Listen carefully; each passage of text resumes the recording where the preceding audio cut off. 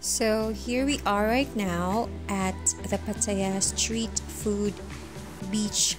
Road area and you can see a lot of street foods because this is the place where people love to eat outside. So we have varieties of foods here. And I'm still at the first part because this video is in the other side of the street food area where you can also see some unique foods